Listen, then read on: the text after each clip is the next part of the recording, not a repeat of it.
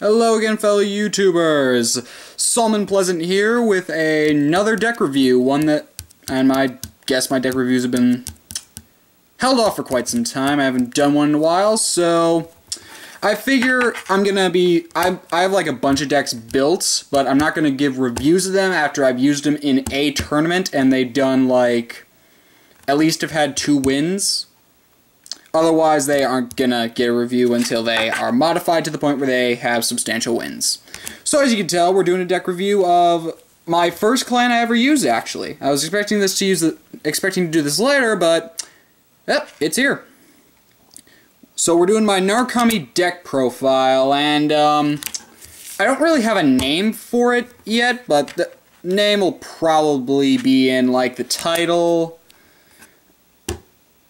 um, I could call it like, I, I don't know yet. I'll think of something. So, yeah. Anyway, so let's get right to it. We start with the starter, which is Spark Kid Dragoon, and he's the vanilla counter. He's the Forerunner, which is Narukami rides it, called to rear guard, and the counterblast one put into the soul. Top five for grade three, but everything else back.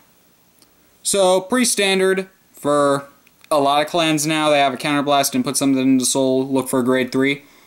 Standard grade 3 searcher. Does well in this deck.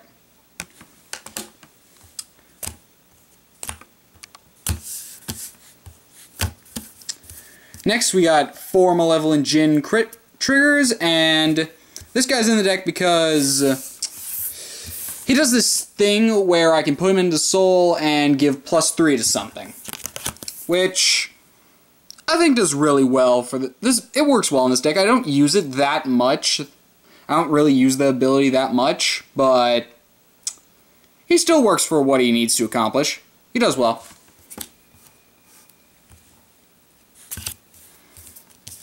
Next, we have four Yellow Gem Carbuncles, and not much to say here. They're vanilla crit triggers. Don't really have much to say. Just more crit power.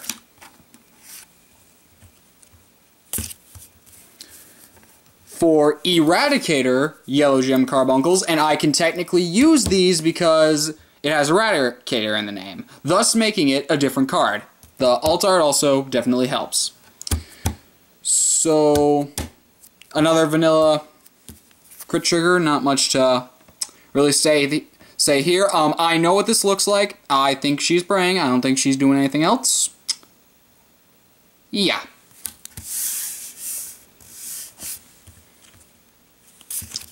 And finally, four heal triggers of Worm Toxin Eradicator Silibo? I'm not sure. So my trigger lineup is basically 16 crit, wait, 12 crit and 4 heal. So this is basically a beatdown deck. This deck is used for beat the living crap out of any anything that gets in my way. Simple as that. Great ones. We have two Dragon Dancer Riris, and you'll understand why I only use two of her. Da -da -da. And what she does is really simple. On rearguard, Soulless 1, when she boosts Thunderbreak Dragon, the boosted unit gains plus 5. So during Limit Break, that makes Thunderbreak a 26k swinger. Pretty straightforward. Nothing really unique there. Run three Photon Bomber Wyverns, and what this guy does is he's the special 6k booster on Vanguard, do something, get plus 4 to make it a 10k booster. And what this does is if my opponent has 3 or more damage, I gain plus 4 and they can boost for 10. And this guy really works considering a lot of things now require some form of 4 or 5 damage. So, most decks nowadays usually focus around limit break, so this guy really can come in handy when he needs to. Problem, he only boosts the Vanguard for this effect, so that kind of sucks. But, oh well.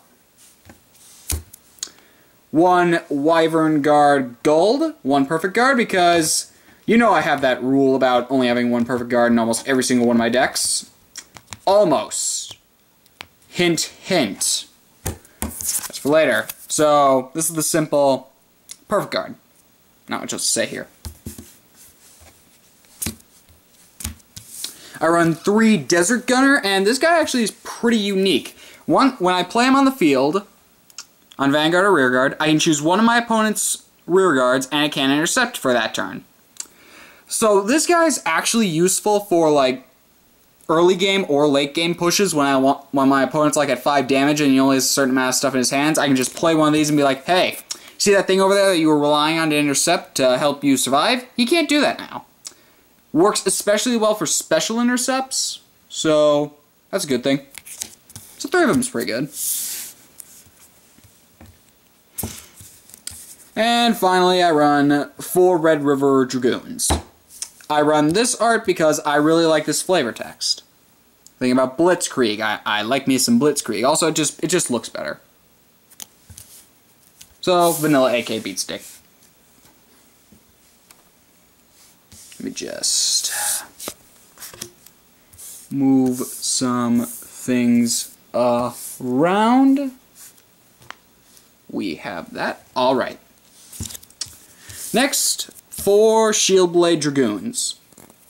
Also a Dragoon.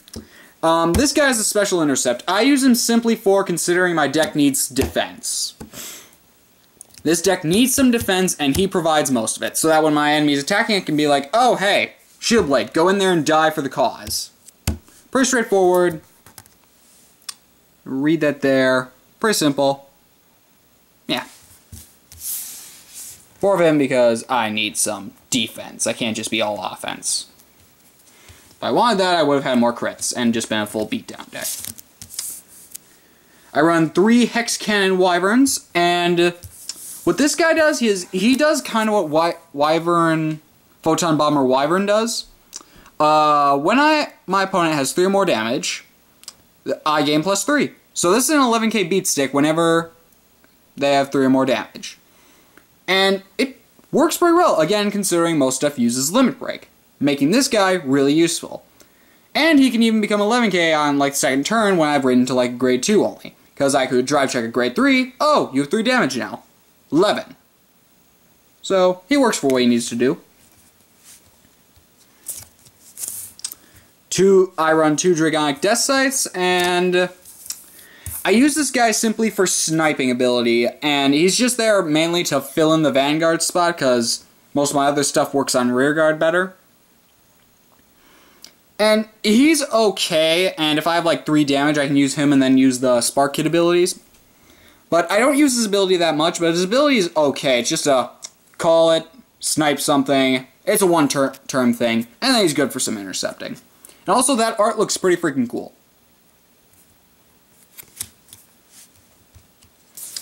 And finally, for the grade 2 lineup, I got four Eradicator... Ah.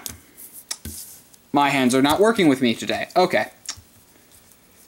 I run four Eradicator Thunderboom Dragons.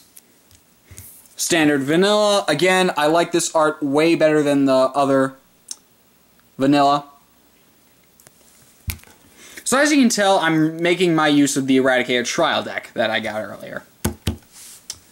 Anyway, on to grade 3s. For Djinn of the Lightning Flash, at one point I made it my goal not to use him, but after testing with him, he works pretty well, actually.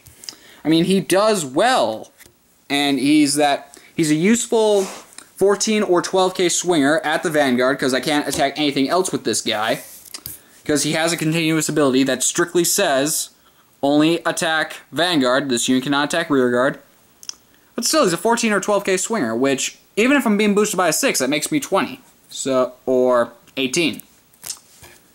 So, he works well. Next, I got two Thunder Breaks. This is my avatar the deck. This guy is awesome. He does the standard limit break for get plus 5. He also has this ability, which is pretty much like Death Scythe, except it's only on Vanguard. Counterblast 2, placed on Vanguard, retire grade 2 or less rear guard. Pretty straightforward. And that art is pretty awesome. He's more the ace of the deck than anything, but here's the thing that you could argue is the ace. One, Eradicator Vowing Sword Dragon. This is the break ride, which you get in the trial deck. He does the Limit Break 4. When an army rides this unit, choose one of your opponent's rear guards in the front row, retire it, and this and the chosen vanguard gains 10,000 till the end of the turn. So combo that with Thunderbreak, I can snipe two rear guards instantly. Now I know there are some better ways to do this, but I really don't want to focus necessarily on Eradicators just because they're going to be freaking expensive. Oh, he also has this other ability where if you have 3 more damage, plus 2. So, yeah, Limit Breakers, ha! I get to gain power from this. He's also on 11k, which is pretty good, and that art is awesome. So what I usually like to do is have this guy in Vanguard, next turn, ride, counterblast 2, snipe something, snipe something else. So I can pretty much snipe your whole front row or snipe whatever the heck I want. So, yeah. That went pretty quick. So there's that. Pretty straightforward. And this deck did okay. This deck only got like two wins out of four, but it put up a good fight. Like, it fought some really tough opponents when I used this, and it put up a good fight. It just would not go down easily. I, I can say that. Even when I'm grade locked at like one, this thing kept fighting and guarding and punching back. It just would not die that easily. So, yeah, I give this thing a lot of credit. I do. For what it accomplished, I think it accomplished what it needed to do pretty well. So, that's all I have to say. This has been Solomon Pleasent, signing off.